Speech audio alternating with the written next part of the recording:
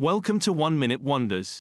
Today, we're going to take a closer look at one of the most innovative cooking techniques out there molecular gastronomy.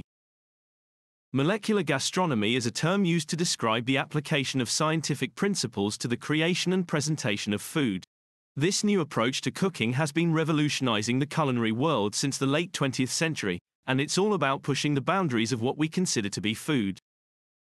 From food that changes color based on the temperature, to dishes that dissolve in your mouth, molecular gastronomy is all about taking traditional dishes and adding a scientific twist. This innovative cooking style relies on using ingredients in new ways, and it's creating a whole new world of possibilities for food presentation and flavor. One of the key elements of molecular gastronomy is the use of specialized equipment, like liquid nitrogen or vacuum sealers. These tools allow chefs to create new textures, tastes, and presentation styles that would not be possible with traditional cooking methods. Molecular gastronomy also involves experimenting with ingredients in new ways, like using gels and foams, to create dishes that are not only delicious, but also visually stunning. The goal is to create a unique dining experience that engages all the senses, and it's a perfect example of how science and cooking can come together in a beautiful way.